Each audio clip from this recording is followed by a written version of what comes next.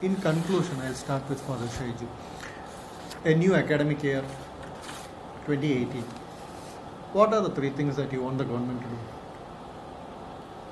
The first thing is have a proper planning and incorporate the experts from the private sector also, the self-financing sector also in their planning. That is the first thing I would say with regard to nursing education, right? Or any education, whether uh, medical or engineering. The second thing is they need to trust the uh, self-financing college management. That trust is lacking somewhere.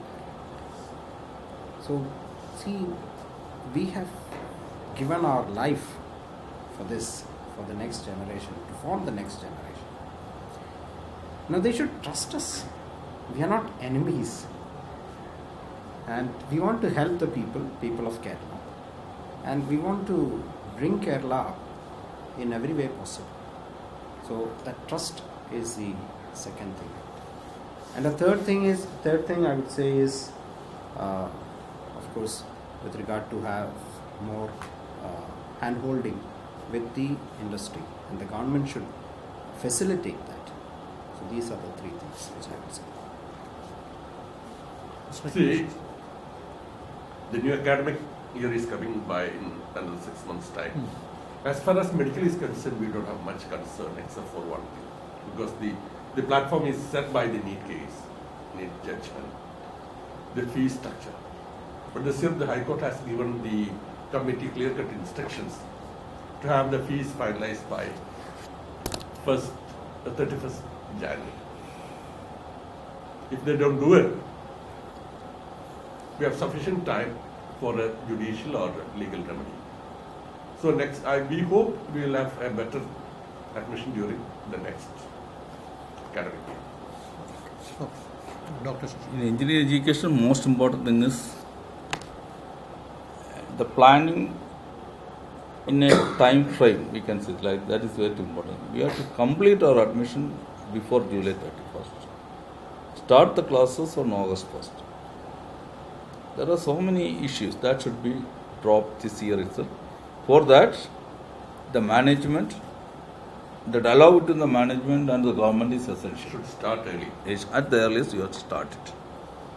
Second thing is there are certain issues with our our university system because university is actually the controlling body of all engineering colleges now. That system there are so many problems. Last year we have seen so many issues that should be sorted out. Third one is all engineering colleges you have to focus on quality education that is lacking in our many of the colleges. All our engineering colleges are having more than seven years age, and uh, now they have all facilities, faculty, everything is there. But we have to focus on quality education to bring the students, bright students, uh, and uh, have a good career for them in the campus. All right. Uh, let's conclude uh, with uh, saying that as the new academic year comes to opens up in the next six months, management federation representatives are hoping that unlike the last years when you have seen a lot of uh, controversies during the admission process which invariably results in a lot of students moving to neighboring states they want the trust deficit uh, to be addressed on an urgent basis and the admission process to be completed on a time bound manner uh, so that uh, maximum number of local students can get admissions into the uh, institutions operating out of Kerala. Both these are uh, genuine asks and uh, during the course of the conversation what we see is a lot of anguish and pain for managements that have sunk crores of rupees into improving uh, professional education in Kerala uh, for our students.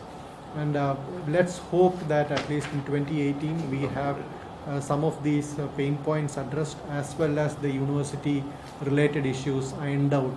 So we have a seamless uh, academic career, uh, academic uh, tenure to look forward to.